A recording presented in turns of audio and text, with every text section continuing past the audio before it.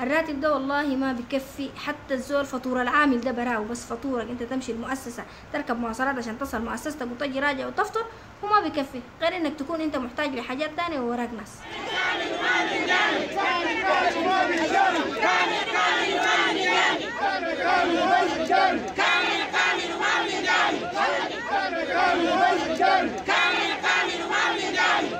هسي لو لو قارنا إنه المرتب اللي أنا بناخده مع الظرف الأسري ما هيقعد معي خمسة يوم أو ستة يوم أو سبعة لو بالغ سبعة يوم.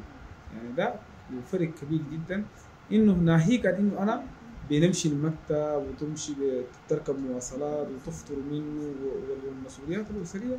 حقيقة راتب ضعيف لأنه إحنا برضو في وقت الزيادات بالنسبة للمرتبات كان قاعدين ننادي إنه لازم يكون في ضبط في السوق عشان يقدر يحصل هنا الموازنة. أنا شغالة في مؤسسة حكومية. أولا لا موفر لي ترحيل لا موفر لي بدل و... لا موفر لي وجبة لا موفر لي مقاومة عمل يا مقاومة عمل يعني أنا ممكن أجي من بيتي موية عشان أشرب عشان لي قارورة صافية عشان أشرب فيه عشان أشرب موية أقضي اليوم ده وأتفادى إني مثلا ما أدخل في حالات آه، ناي آم، فشل كلوي والحاجات دي. لجنة عليا للمطالبة باستحقاقات العاملين بالولاية. اللجنة دي بدت آه، خاطبت الحكومة أمهلتها فترة زمنية كان لمطالب محددة. المطالب كانت عبارة عن متأخرات آه، شهور واحد واثنين وثلاثة وفي بدل وجبة لشهرين 11 و12 في العام 2021 يعني صراحة تخيلي أنت بدل وجبة في شهر في 2021 شهر 11 و12 أنت في شهر 6 ما أخذتيها.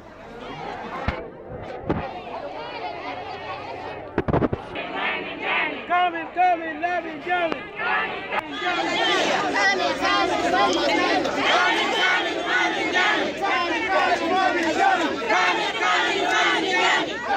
إحنا قاعد نفتكر إنه الاضراب هو السلاح الوحيد بالنسبة للعاملين. آه، اللي ممكن يقدروا يجيبوا مطالبهم لأنه سلاح مجرب وشغل بتاع النقابات لأنه العامل ما عنده حاجة بيقول أنا بنضرب عن العمل إنه ده بيجيب الحتة الوحيدة اللي بنقدر أنا بنستخدمه يجيب لي حقي هو الاضراب الإضراب ده بديناه ونحن أول حاجة بمخاطبة تجمعت اللجان من كل لجنة فرعية لمؤسسة اتجمعت السمت باللجنة العليا لمطالبة استحقاقات العاملين بالولاية. اللجنة العليا دي بدأت أول حاجة بمخاطبة الحكومة إنها توفر لها حاجاتها وقعدنا مع الحكومة وما أوفت بوعودها ال- في النواحي المالية. وبعد ذاك نحن عملنا الإضراب الجزئي. الإضراب الجزئي ده كان فاتحين فيه الطوارئ برضو كان ما في استجابة. الإضراب الجزئي لأسبوعين. وبعد ذاك فكينا أسبوع حتى الإضراب الجزئي قبل العيد وبعد العيد جينا داخلين. بعد ذاك قعدنا أسبوع ودخلنا في الإضراب المفتوح.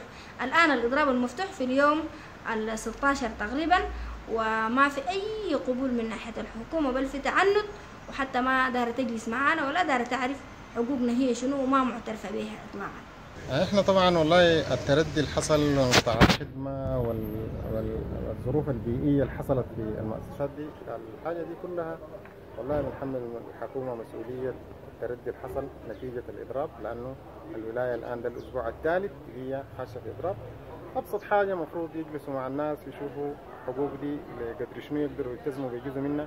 الحقوق دي جزء منها معنوي وجزء منها مادي.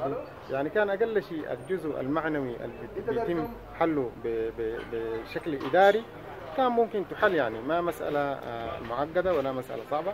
لكن للأسف الشديد آه، ما في أي استجابة ما في اي رد فنحن نحملها كامل المسؤولية لأي تردي يحصل في الخدمات وكل الحاجات اللي حصلت دي مسؤولية كاملة تحملها حكومة الولاية. نظمنا اليوم وقفة احتجاجية أمام مقر أمانة الحكومة.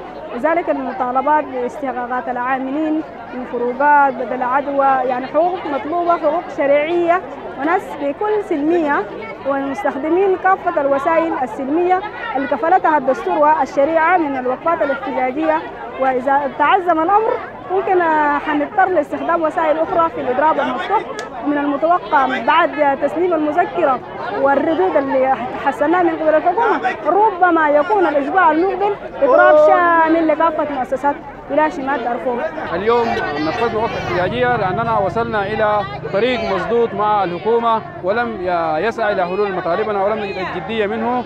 وهنالك يعني تهاون وتساهل مع قضايانا. وهذه هي لقمة عيش العمال. والعمال أكثر شريحة يعانون شظف العيش في السودان. لذلك هذه القضية قضية عاملين بالسودان عامة. ولكننا اليوم في شمال دارفور ننفذ وقفة احتجاجية في سبيل أنه نساعد حتى ننال حقوقنا كاملة غير منقوصة ما قلنا لهم زيدوا لنا لكن نحن مطالبين بحقوقنا الفرض لنا مجلس السيادة. آه نحن مطالبين بحقوقنا الفرض لنا مجلس السيادة والآن نحن أمام آه أمانة الحكومة. آه عندنا مذكرة حنسلمها لأمين عام الحكومة وإن شاء الله يعني لو أي في آه هنا لاحق إن شاء الله لكن نحن صبرناهم آه أربع شهور فروقات أربع شهور بالإضافة لفروقات بتاع آه حتى الفرق بتاعت العيدين ميزوا بين الناس أدونا أدوا المعلمين وخلوا بقية الناس. فحاجة أصلا أنت كلية ولا جزئية. ان إحنا ككل في في الولاية ناخذ حقوقنا كاملة. ناخذ حقوقنا كاملة لأنه إحنا صمتنا أربع شهور وما في أي يعني ما في أي فاتحة. خير بالنسبة للعاملين. والغلاء طاحن. اللي عارفين إنه أنتم كمواطنين في ولاية شمال دارفور غلاء طاحن. إنه نحن ما بنقدر نتحمل هذا الغلاء الطاحن. وإن شاء الله حتكون هذه هي سلمية وكلية لا جزئية. حقنا كامل ما بنجامل. عندنا ناس اتنقلوا نقل تأسفي. برضه مطالبينهم إنه حيعيدوهم إن شاء الله. بحمد الله تم تسليم مذكرة للسيد أمين عام الحكومة. بكل المطالب التي طلبها العاملون بولاية شمال دارفور ونحن على آمل إنه يتم البت فيها في فترة عاجلة حتى لا نضطر ملزمين أو مرغمين للدخول في تصعيدات قد تتضرر منها الولاية وذلك ما لا نرجوه على الإطلاق. نحن كموظفين خدمة مدنية عهدنا إنه نحن ما بنسكت عن استحقاقاتنا وما بنسكت عن حقوقنا. بنظل نطالب بحقوقنا وعندنا أساليبنا وعندنا وسائلنا السلمية في إننا نحن نضغط ونحاول نطالب باستحقاقاتنا وما حتقيف المطالب في وقفة احتجاجيه وغيرها بل نحن حنستمر. البيان اللي تم تلاوته في في في وجوده بيأكد تماما إنه الموظفين كلهم متفقين على حاجات محددة وحاولوا يوصلوها لحكومة الولاية وإذا حكومة الولاية استجابت لها فبها إذا ما استجابت برضه هم عندهم أو نحن كلنا كموظفين عندنا أسلوبنا وطريقتنا اللي بنقدر بناخذ بها حقوقنا. شكرا جزيلا.